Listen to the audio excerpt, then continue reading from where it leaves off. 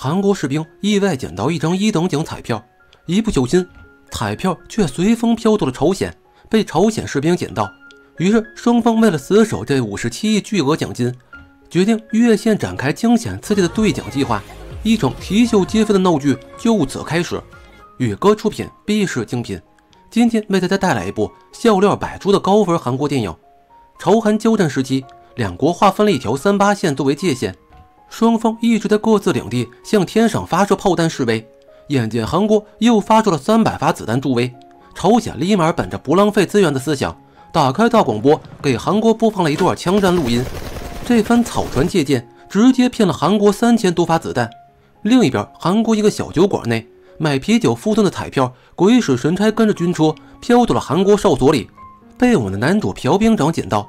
男主本是农户出身。虽然家中牧场因为口蹄疫倒闭，但他这尝奶变品种的能力可不是盖的。此时电视中开始摇彩票数字，见到手中彩票所有数字都完美匹配，男主一时激动的昏厥过去。醒来后，男主像中邪一般狂笑不止，战友们都以为他喝奶中毒了。再有一年就要退伍的他，幻想若能成功领取五十七亿奖金，那岂不是走上人生巅峰？开心的男主听到对面哨所朝鲜女兵的声音。嘚瑟的跟他对起话来，还跟女兵写了一篇侮辱对方的诗词，气得对面七窍生烟，直骂男主是个放屁男。但次日，嘚瑟男主就不小心将彩票丢了。眼见彩票飘过三八线来到朝鲜境内，男主欲哭无泪，却没有办法。而这张放荡不羁、爱自由的彩票被朝鲜士兵李荣浩看到，彩票寸步不离的跟着他，被好奇的李荣浩揣进了兜里。回去，战友小胖子帮他在网上搜索了彩票信息。得知能换取五十七亿韩元后，小胖的眯眯眼都瞪大了。而此时，要钱不要命的男主挖开三八线，钻进雷区寻找彩票，却发现雷区到处都是垃圾小纸片。男主来来回回找了数日，依旧一无所获。这时，一名吉利服喊住了他，原来是李荣浩。他跟男主商议，让他帮自己兑换彩票。自己的大奖原来是被面前之人捡走。男主立马行使主人权利，输背了彩票号码后，想要回彩票。李荣浩当然不同意，提出四天后再来谈判。次日，少长却叫来男主，认为他每晚都跑狗洞的举动是得了精神病，要小弟将男主送到军医那疗养。没辙，男主只得将中彩票的事告诉少长，还拿出拍的李荣浩照片。少长这才相信了他。得知中奖的少长立马对男主哭诉，自己想给女儿买钢琴都没钱买，母亲的住院费也没钱交，成功敲着男主百分之十五的奖金分成。同样，李荣浩也准备将这笔钱用于帮妹妹完成歌手梦。小胖则想用钱帮父母换口瑞士假牙。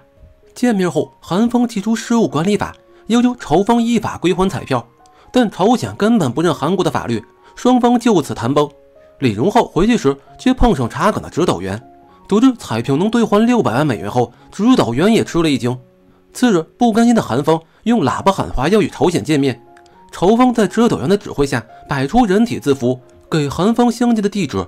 韩国三个机灵鬼猜了半天才知道，对方摆的是象形文字取水区域。于是三人深夜摸黑，找到了早已等候多时的朝鲜三人。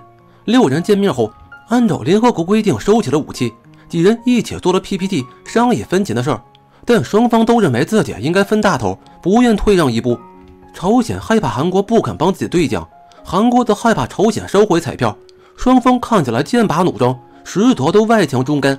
于是，一番咬耳朵后，韩方准备使诈，表面同意自己三朝鲜期，实则打算骗走彩票后自己独占。朝鲜、韩韩三人组喜出望外，立马草拟一份协议书，要求双方届时按规执行三七分。就在指导员送出彩票时，李荣浩却看到男主脸上狡诈的笑容，立马要求停手。得知奸计被识破，韩方要求朝鲜崽子松手。眼见彩票要被撕破，双方都吓得松了手，随后一齐扑上去，在黑暗中抢夺彩票。突然，取水站灯光大亮，原来是管水的老寒冰。老寒冰为人和善，曾帮助朝鲜解决供水难题，双方都对老寒冰很是尊敬。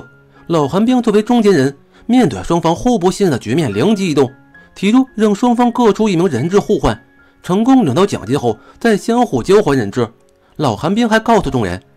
韩朝双方军营中都有一个手摇电话，可以用电话紧急联系。回救，韩方三人剪刀石头布使诈，推出男主当人质。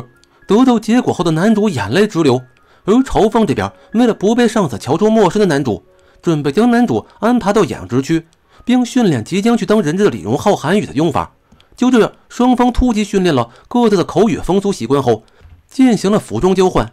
临行前，双方拿出各自的特产美食，一起美美的吃了一顿。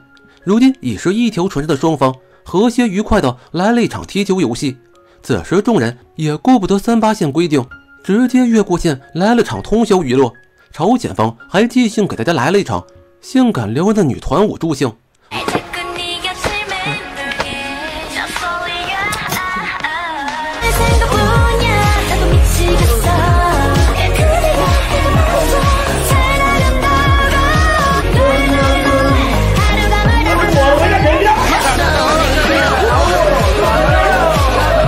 安顿好一切后，韩风首长安排小跟班出去取钱，但军营中有规定，只有生病才能外出。于是少长想了两个计策，让跟班选喝变质牛奶中毒就医，还是打断一只胳膊外出就医。小跟班思索后，想干净清楚的外出，于是，在重武器中选择了好上手的枪托。随着一声惨叫，小跟班带着重伤与重托上了路。临行前，少长将彩票缝在了小跟班的内裤中。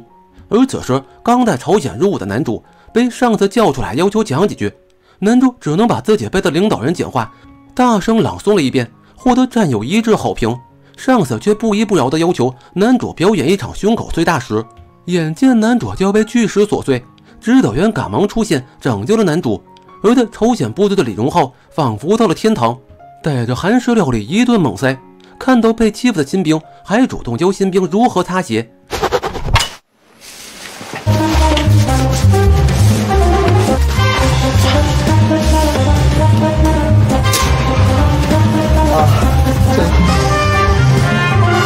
一番操作，月哥都惊呆了。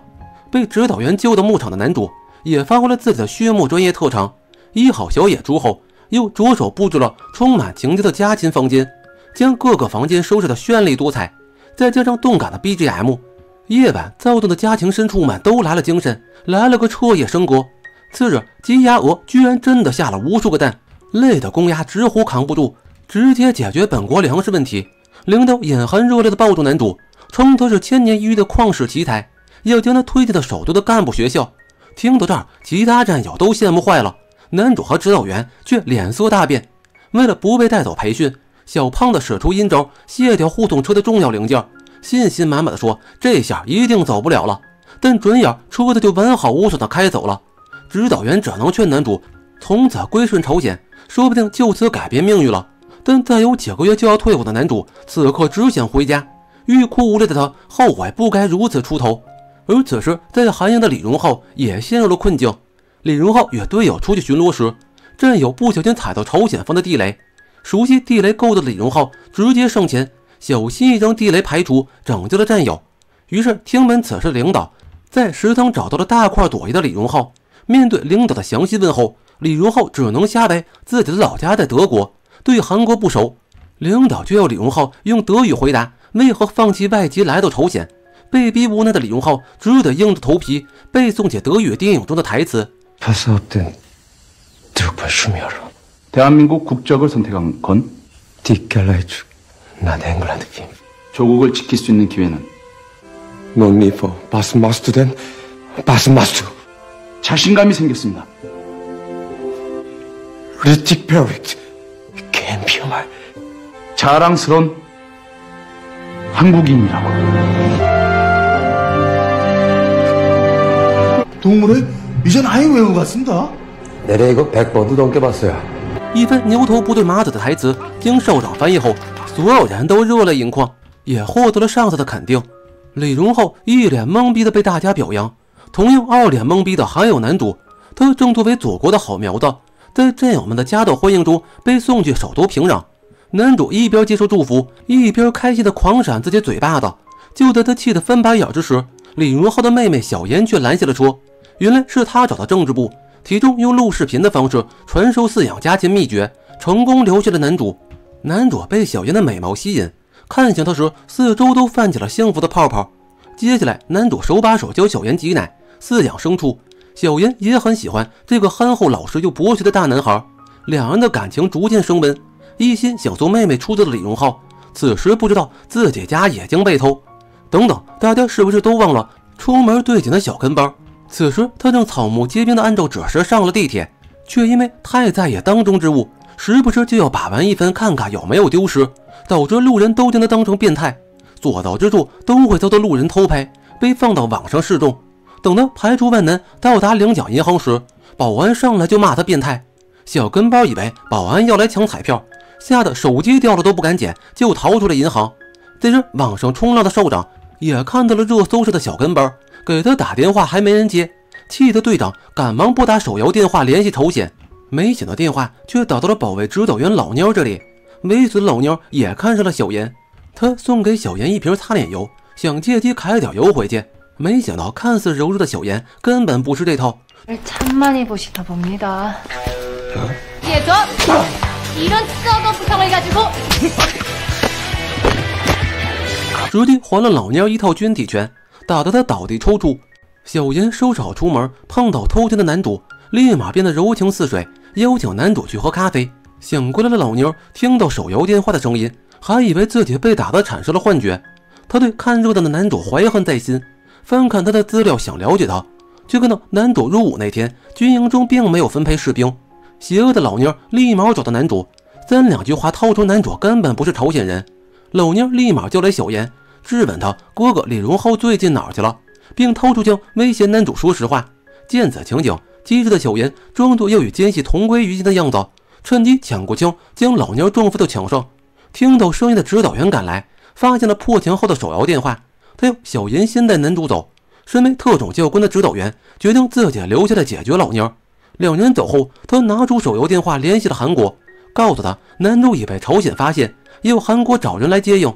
而男主临走前又去牧场与前段时间朝夕相处的小弟告了别，小弟拜托他把小野猪放归大自然。随后，男主跨越边界线离开了朝鲜。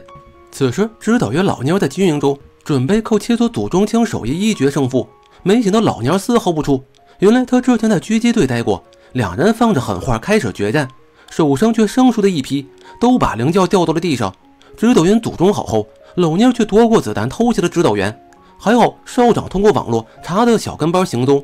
这货看对不了奖后，索性放飞自我，走到哪吃到哪，都快变成美食博主了。少长打通刀削面店的电话，逮到了小跟班。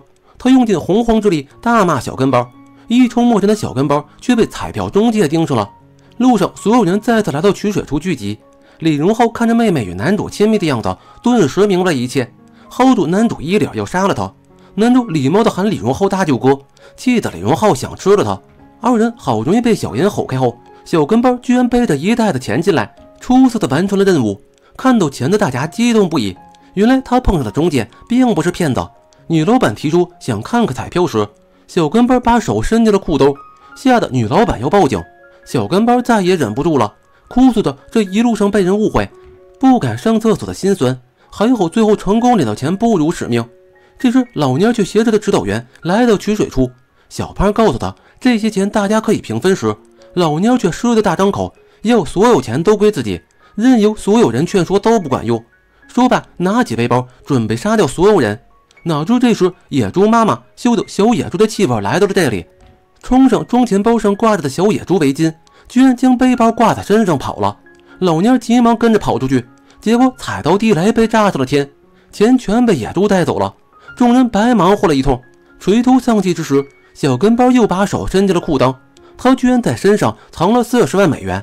这事儿居然还有反转，少长立马批给小跟班四天假期。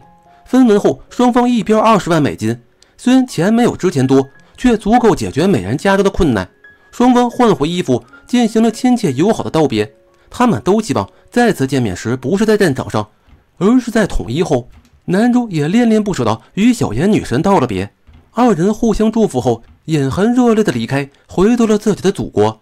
野猪也成功找到小野猪，只是不知道那头钱究竟哪儿去了。远哥也想去找找呢。四十五分之六，又名乐透大作战，豆瓣评分七点七，IMDB 评分七点二。本片从故事构思到演员表演，处处都有笑点，与《独行夜球》那种挠你嘎吱窝的硬搞笑不同。属于润物细无声的搞笑，是2022年韩国为数不多值得一看的喜剧片。本片情感线主要体现在朝韩两军在彩票事件中建立起来的情谊，其中还包含着韩男朝女的爱情线。结尾画龙点睛，紧扣两国人民热盼统一大命题，将影片的主旨升华。本片除了男主曾演过《请回答一九八八》是个熟面孔以外，其他角色都不是很出名。正是由于演员阵容的陌生，才给观众带入了更多新鲜感。剑拔弩张的朝韩两国士兵，因为小小一张彩票开始合作。朝鲜士兵在韩国兵营中背诵德国电影台词那段，是全片中最搞笑煽情的。校长一本正经的翻译，在场的士兵军官感动的热泪盈眶。这种反差萌令宇哥笑喷。最后两军隔空遥望，通过喇叭传情达意。人与人的情谊与国家之间的纷争无法融合，气氛又令人泪目。近些年朝韩题材的韩国电影越来越多，但这类电影或多或少都会有抹黑朝鲜的成分。本片中也有朝鲜人知识匮乏、生活贫困、娱乐方式缺少。一部德国电影，李荣浩都能看到倒背台词，军纪严明，上来就让男主胸口最大时的训练。而韩国拥有分式的伙食，表现韩国物资极其丰富。这真当大家不知道部队锅的由来吗？包括后来遇到的问题与麻烦，依然相当吻合大家对两种国家形态的理解和想象。朝鲜这边是猥琐的满嘴高调，实则捏货的以权谋私的官僚主义；韩国这边是毫无界限感到无条件侵犯个体隐私的网络暴力。韩国真的很会拍这种讽刺味道满满的真实社会现象。好了，今天的故事就讲到这儿吧。爆肝不易，辛苦大家动动小手转发、评论、点赞支持下，月哥感恩。